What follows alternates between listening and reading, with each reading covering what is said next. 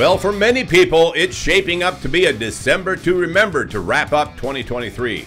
For the fifth week in a row, we've seen significant weekly declines in wholesale prices reported by Black Book.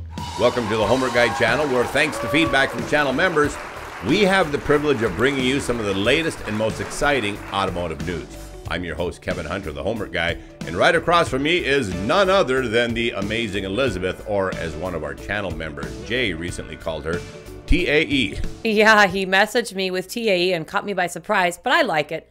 All right, car buyers, are you ready for some great car news? We've been directly witnessing that the tides are finally turning for real in the auto industry, and we've been able to see it happen right before our very eyes thanks to our regular involvement with channel members.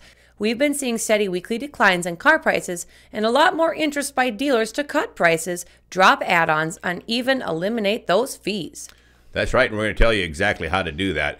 Reports are flooding in from channel members we've been coaching into some incredible deals. And with most new cars, we're talking about well below manufacturer suggested retail price, MSRP. Used prices are tumbling fast right now, too. You know, dealers are finally dealing, and we've got all the juicy details for you. From sedans to SUVs, the deals being signed are unbelievable, given where things were at not long ago. Before we get down to business, let me share with you a sweet little picture I took of our daughter Grace. She was born while I was in the hospital two years ago. She woke up early Friday morning with me to see Clifford the Big Red Dog. this sweet little smile on her face shows you how much she enjoys that show. Just irresistible. Okay, back at it. If you're in the market for a car, this is not time to miss out on the action. Hit the subscribe button and ring the bell to stay updated on all things related to cars. Let's rev up and dive in today's exciting topic steady car price declines and the return of interest by car dealers to wheel and deal. As we reported on November 19th from Black Book, last month opened with significant weekly price drops. That has carried over here into December. Just this past week alone, we saw a sharp continuation of significant weekly declines, with the market accelerating its depreciation into the holidays. Despite robust auction attendance, ample inventory, and strong conversion rates, sellers are now dropping their reserve prices, which is causing the market to grapple with establishing a post pandemic new normal. That's an excellent sign. Yep. Here's some of the data. The wholesale car markets are in a state of free fall. In a single week, car segments are down an average of 2.4%, which amounts to a $360 drop this week on top of last week's drop of 1.82%. The 0 to 2 year car segments were down another 1.82%, while the 8 to 16 year old cars declined 2.44%. All nine car segments decreased last week, with four of those segments reporting declines beyond 2%. Compact cars, which were so hard to get for so long, had the largest decline, with a record breaking single week depreciation of 4.32%. If you're looking for a used compact car, on average, buyers at the auction paid $482 less this week alone to acquire those vehicles. This is on the heels of the previous week's already incredible large depreciation of 3.84%. It was a record set last week and a record set again this Yes. week. The sporty car segment is also accelerating the rate of depreciation, declining 3.32% last week, adding to the week's prior decline of 2.05%. That means sporty cars are down $717 in price this week alone. Those are becoming meaningful numbers. The truck segment is also improving for car buyers, which includes crossovers, SUVs, and vans as well.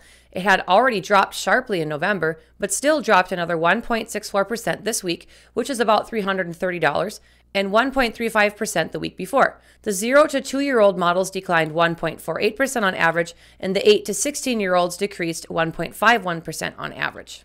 All 13 truck segments saw price drops last week. Four of the 13 segments had declines greater than 2%. Full size luxury SUVs had another week with depreciation exceeding 3%, with a decline of 3.81%, adding to the 3.2% drop the previous week.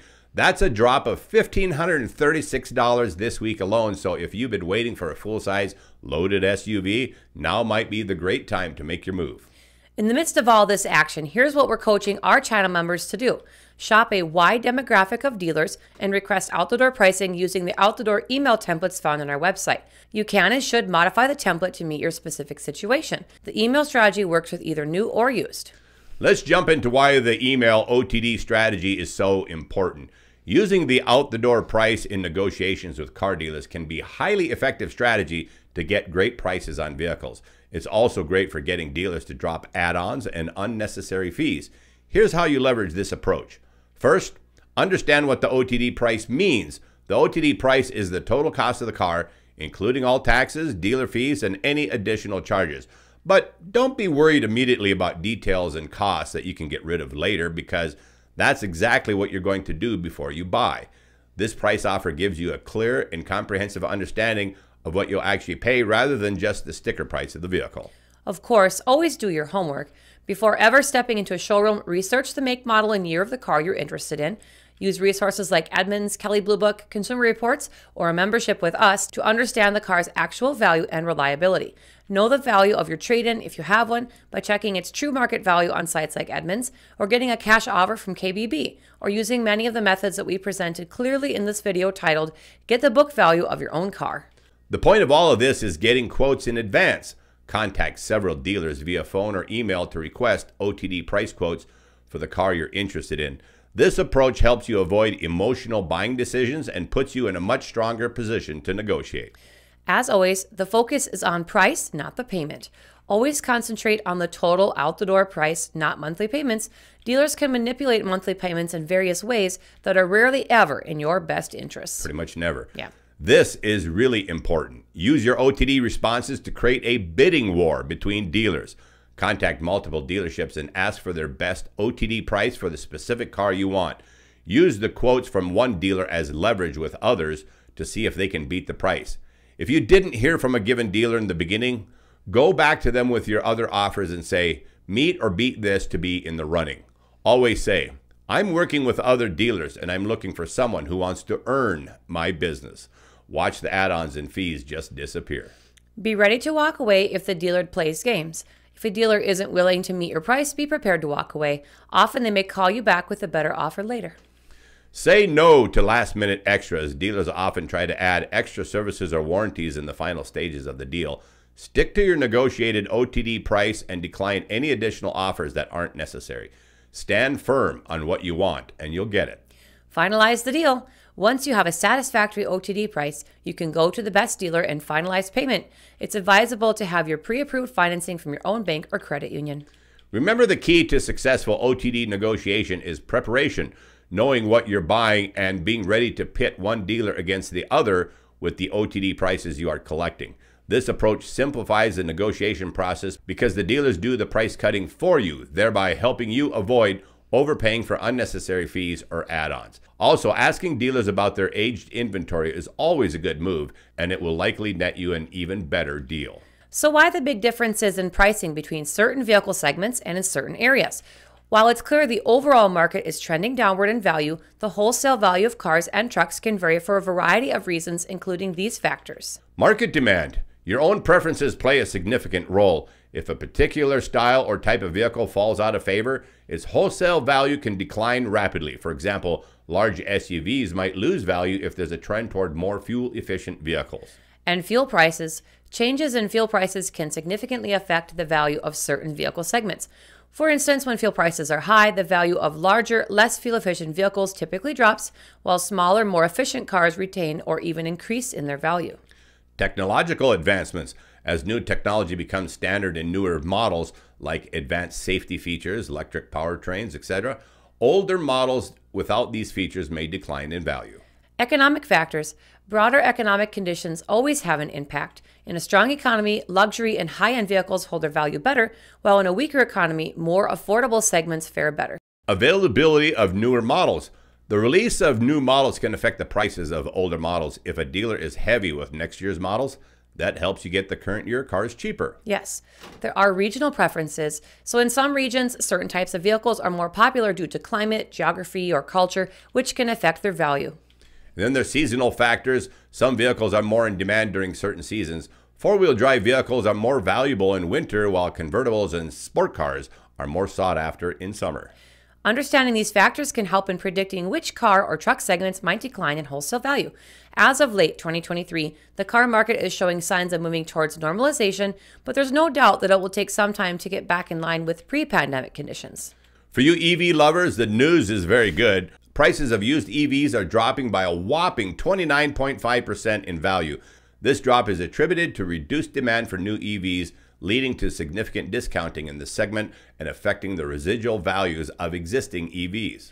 Overall, the car market in 2023 is closer to normal compared with the height of the pandemic, but it still faces some challenges and uncertainties, particularly in terms of pricing in various regional pockets around the country. The market is definitely showing signs of stabilization, but it's also clear that some of the changes brought on by the pandemic will have longer lasting effects. Here's a quick look at rates of inflation over the last few years. 2019 was 2.3%, 2020 was 1.2%, 2021 was 4.7%. 2022 was 7.1%. 2023 also 7.1%. Ouch. This puts the cumulative inflation from 2019 to 2023 at 23.64% overall. What $100 bought in 2019 now takes $123.64 to buy today. For cars, it's even worse, but it's important to note that the rise in car prices since 2019 has been influenced by more than just the general inflation rate. Shortage of supplies have artificially pushed prices higher, and a significant correction is finally underway. Now for some news on new car inventory. As of late 2023, the car manufacturers with the most available inventory, especially in the larger pickup trucks and SUVs, include Ford, the Ford F 150 with an inventory of 60,378 units, primarily in Texas. Other models with big inventory include the Ford Escape, Ford Edge, Ford Explorer, and the Ford Mach E. And then there's Chevy models like the Chevy Silverado 1500 with 38,072 units, mostly in Detroit, and the Chevy Equinox, also largely in Detroit. For Nissan, the Nissan Rogue has a big inventory of 30,379 units, with a lot of it in New York. And then there's Ram. The Ram 1500 is also among the vehicles with high inventory, 21,443 in Detroit. For Dodge, models like the Dodge Charger, 18,820 units, and Dodge Challenger, 14,235 units, have significant inventories. And then Mazda, the Mazda CX5 with 17,440 units, mainly in New York, is also big. For Honda, the CRV and Honda Accord are their top inventory models. And then Toyota, the Toyota RAV4 and Toyota Camry have the biggest inventory levels. For the most current and region specific inventory information and for your area, it's advisable to check with services like TrueCar.com and RealCarTips.com. Friends, if you feel you lack the skills to run the sales process gauntlet and you're hungry for a car deal like we've described, get me and Liz in your corner by becoming a member on our YouTube channel today and have us talk you through to success. To get this kind of direct involvement, sign up for the consults level today at $49.99 and then reach out to Kevin right away at his cell phone number posted in our members only community page. What's extra special is that you won't just get stuck with a Homework Guy staffer to work with you, you actually get us. Nobody else on YouTube offers this. If you're a member of our channel, we've really enjoyed working with you and you made today's show possible. Thank you for that.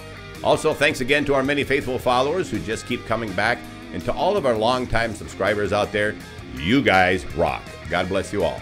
I'm Kevin Hunter, the Homework Guy, signing off with amazing Elizabeth, the Homework Gal. The Homework Guy team is serving truth, justice, and transparency in the car business and always will.